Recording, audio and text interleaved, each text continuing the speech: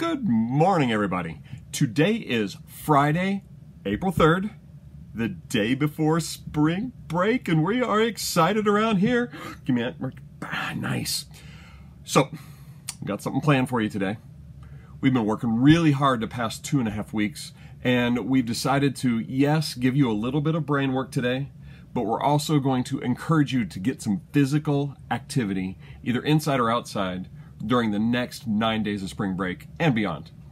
So, to help you get that point and to get to understand what we're talking about, Einstein and I, we took some time out today and went outside. We did some things inside to show you some activities that you could do to get yourself away from the screen. Come back here, Einstein. You're not going to go do them now.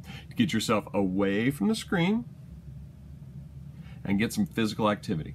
So here are some examples that Einstein and I put together. So you could play cornhole.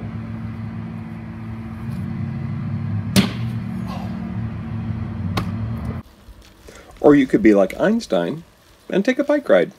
Be careful, Einstein. Yeah. You could do indoor switch boxing.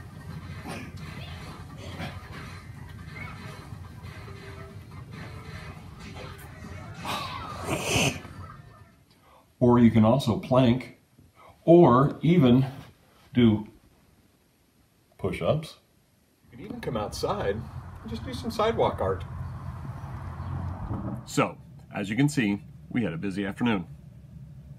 Hopefully these examples help you understand that not only does your mind need activity, but your body does too. So do something, do anything, get yourself moving. That's all really that we have today. I don't think, do you have anything else? So, we encourage you to get out there, do your math, reading, and check out your homeroom activity, which you are if you're looking at this, and finish what you haven't done. Have a great nine days. Enjoy them. Do some things that are away from the screen like we have been talking about. And we will see you in about a week, a little over a week, to continue this journey that we're calling e-learning. See you all online. Have a good day.